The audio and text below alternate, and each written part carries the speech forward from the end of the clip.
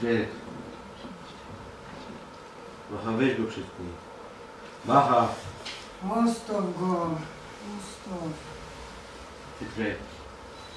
Musisz go budzić. Niech się sam budzi. Zostaw, że mnie. Po co go budzisz? Ostaw go na litość pańską.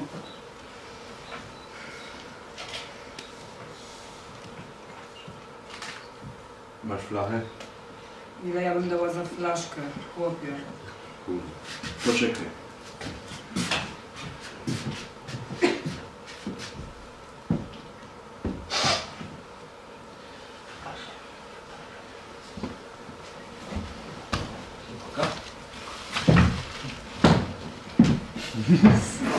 Przedstawiam się serdecznie. Czy może zechcieliby mi Państwo pomóc? Znakomicie. Otóż widzicie, moi kochani, słońce już zaszło, a ja nie będę oszukiwał. Opuściłem coś, co można nazwać domem już bardzo dawno temu i nie ukrywając swojego zażenowania, zawłóczyłem się, można by rzec, na śmierć. W pewnym stopniu możemy się zrozumieć, prawda? Nie chcę bynajmniej zajmować waszego czasu, droga kompanio. Wieje i mrozi i zapowiada się na burzę, więc dzisiejszy wieczór najlepiej spędzić w ciepłym pomieszczeniu przy rozgrzewającym napoju gdzieś daleko stąd. Przecież moja obecność ani trochę w tym nie pomaga. Do rzeczy. Gdybyście tylko mogli mi jednym palcem wskazać, gdzie znajdę dworzec główny, to podziękowałbym za usługę i już byłbym na swojej drodze, a wy, drodzy nieszczęśnicy, bylibyście z powrotem na swojej. Może? Główny. Główne. Otóż to. To może być trochę problematyczne. Otóż widzicie, jeśli się nie mylę, nie, nie, nie, nie, nie, na pewno się nie mylę. Na kwintylion procent jest tylko jeden dworzec główny, jeden prawdziwy i słuszny i to on jest dworcem nad wszystkie dworce. Trudno mi powiedzieć cokolwiek o miejscu, w którym się znajdujemy, ale wiem na pewno, że do dworca nam daleko. Wytykanie palcami bez zastanowienia na pewno niczego nie zmieni, więc proszę was, ukochani, zastanówcie się dobrze. To na pewno jest tam. No cóż innego mi pozostaje? Niech mi dobry Bóg dopomoże. Bóg? Bóg ci człowieku nie pomoże. Tu Boga nie ma. Nie było go kiedy się urodziłem i nie pojawi się całe moje życie. Zapomniał o tym miejscu i o tych ludziach. Dobry panie, natchnij tego człowieka swoim światłem, aby w ciemności swego serca odnalazł ścieżkę do twojego królestwa. Jesteś klechą? Wszyscy jesteśmy sługami Bożymi. Gówno prawda, ty złamany chujofonie. Nie jestem niczym sługą i na pewno nie pójdę do piekła za niestawienie się na zebraniach pod patronatem facetów w pelerynach, którzy pod pretekstem powołania mogą uciec od problemów. Uciec od problemów? Żebyś kurwa wiedział, jakby kto chciał żyć łatwym życiem, to tylko za kapłana pójdzie. Przykro mi, ale muszę się z tobą nie zgodzić. Życie kapłana jest trudne i pozbawione wszelkich wygód, pełne wyrzeczeń i poświęceń, ciężkiej pracy i cierpienia. Nikt nie godzi się na to, nie będąc całkowicie gotowym na oddanie Bogu. Otóż to. Widzisz, księża tak żyją dla Boga, dlatego ich ciężar wydaje im się mniejszy. To sam Bóg im pomaga, szlachetni męczennicy. Ale wszyscy żyjemy tym samym chujowym życiem. Trudnym, pozbawionym wygód, pełnych wyrzeczeń i poświęceń, ciężkiej pracy i cierpienia. Z tym, że my, my musimy to znosić każdego dnia. Wstając do pracy, której nienawidzimy, polizując się ludziom, którzy mają nas za nic, patrząc w twarz żonie, która zdradza nas od czterech lat ale nie konfrontujemy jej, bo nic lepszego nas nie czeka. Tylko dlatego, że mamy do wyboru to albo nicość. Taka jest różnica między nami. Ja nie potrzebuję udawać, że żyję dla wyższego celu, żeby poczuć się lepiej. Kierkegaard opisał to jako skok wiary. Łatwiej jest zamknąć umysł na dowody i racjonalne myślenie i dać się ogłupić przez cokolwiek, co obieca Twojej duszy wieczny spokój po śmierci. Nie macie jaj, żeby spojrzeć w twarz rzeczywistości bez boskiego narkotyku. Właściwie Kierkegaard ani razu w swoich dziełach nie wspomniał o skoku wiary. Wobec absurdu egzystencjalnego zajął on stanowisko rozłączności mądrości i wiary. Stąd mieszanka namiętności i racjonalności w każdym człowieku. Nie ma rozłączności, mądrości i wiary. Można mieć serce z kamienia, będąc sługą nienawistnego Boga w zaślepieniu religii nienawiści. I nikt nie powiedział, że namiętność w życiu jest w ogóle konieczna, a konkluzja, że wynika z religii jest idiotyczna. Gandhi powiedział, jak tylko tracimy własne wartości moralne, tak wkrótce tracimy naszą religijność. Nie istnieje taka rzecz, jak religia panując nad moralnością. Moralność jest źródłem religii, nie odwrotnie. Człowiek nie może być fałszywy, okrutny i nieznający umiaru, a jednocześnie twierdzący, że ma Boga po swojej stronie. Ależ spokojnie, tu rację przyznaję, tu się muszę zgodzić, ale... Ale jeżeli nie uważacie, że Kierkegaard miał rację, nie musicie przecież chodzić do pracy, której nienawidzicie. Nie musicie patrzeć na ludzi, którymi już żygacie. Tak łatwo można poprawić swoją sytuację bez tego znienawidzonego przez was Boga. W końcu nie to jest waszą cnotą, że wszyscy jesteśmy prawdziwie wolni? Tak właśnie zrobiliśmy. Tak jest. Albrecht i ja. No i Pietrek. Pietrek. Kurwa, Pietrek.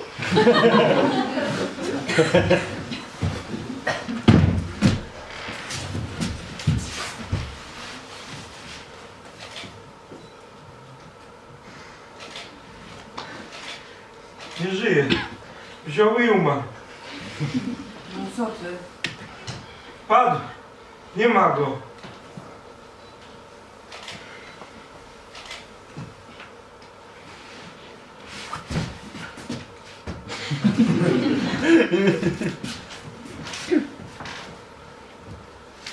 Kurwa, ale jestem głodna. No, też bym coś zjadł. Okej, załóżmy, że Boga nie ma. Nie ma znaczenia to, jakim się żyje życiem. Śmierć jest końcem i żaden wybór nie doprowadzi nas do innego zakończenia, więc możemy żyć jak tylko chcemy.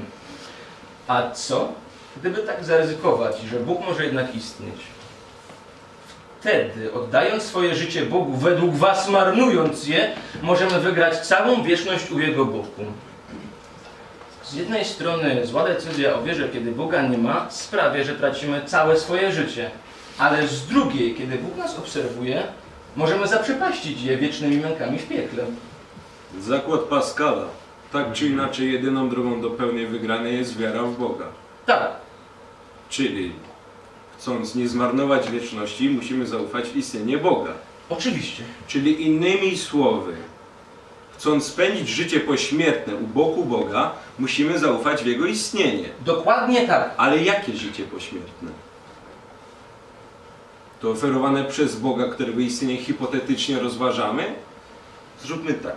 Gdybym powiedział Ci, że za wydłubanie sobie oczu dostaniesz oczy Boga, które widzą wszystko i wszędzie, zrobiłbyś to? Pomyśl, skoro nagroda jest tak kusząca i tak przerasta te małe poświęcenie, którego musisz się podjąć, zrób to. Jeśli kłamie, najwyżej stracisz oczy. Ale kogo to obchodzi, skoro do wygrania jest nieskończony potencjał? Pomyśl, że jakkolwiek nieprawdopodobne by to nie było, moja propozycja okazałaby się prawdą, a ty nie wydłułabyś sobie oczu. No co za idiota. Co ty powiesz na taki zakład? To zupełnie co innego. Nic takiego.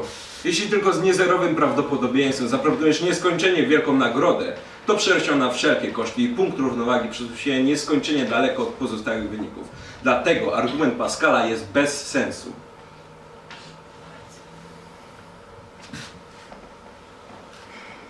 Kurwa, głodna jestem. Napiłabym się. Ej, może Pietrek coś Na miał? pewno nie miał. No, może miał. Sprawdź. Nie miał, bo sprawdzałem. Nie sprawdzałeś. Zróbmy tak. Pójdziesz tam i sprawdzisz, czy coś miał. Jak miał, to dajesz mi 75%. Jak nie miał, to za wysiłek do następnej flaszki dokładam ci się 25%. Dlaczego niby głupia babo mam ci oddać 75%? Bo uważasz, że nic tam nie ma. Chyba nie boisz się, że dostanę 75% z niczego. Nie będzie. Kurwa, to jest flaszka Pietrka! Pamiętam, że jak ją kupował, ty złamany kurdasie! 75%! Moje!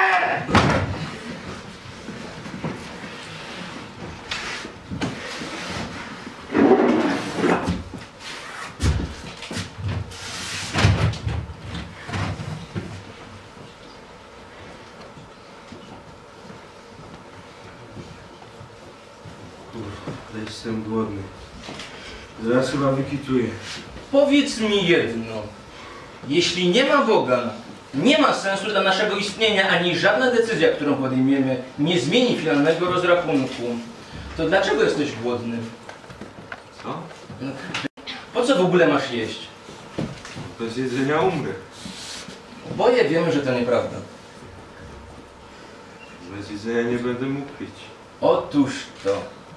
Zatem lepiej będzie, jeśli coś zjesz, prawda? Nie mam nic. Ale oni mają. Ale Spójrz na butelkę. To i tak niczego nie zmieni. Zaufaj mi.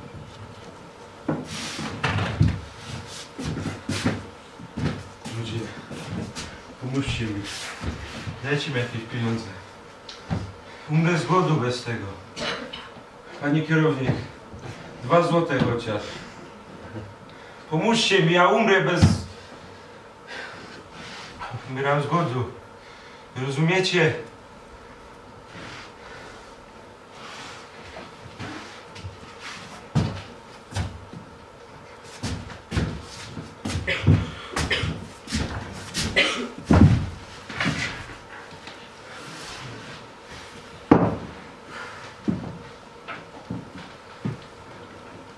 Jak twoja wolność, Albercie?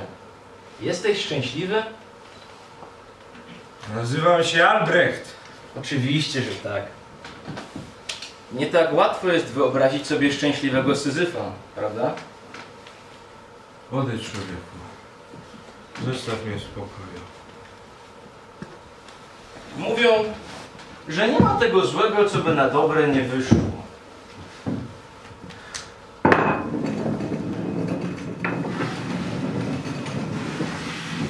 Mówią, że dwie rzeczy są w życiu pewne.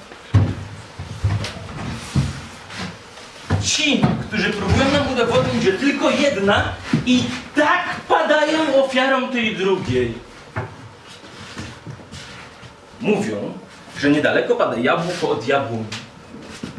Jako jabłoń muszę się z tym nie zgodzić. Chociaż w każdym kłamstwie i tak jest widmo prawdy.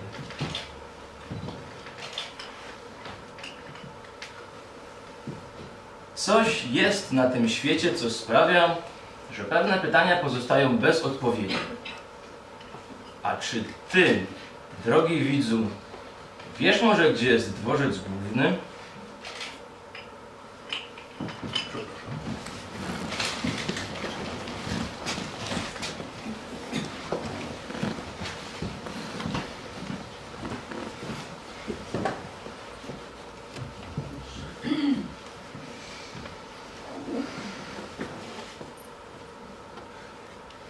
Maitreya. Vaha ve Gopšitku. Vaha!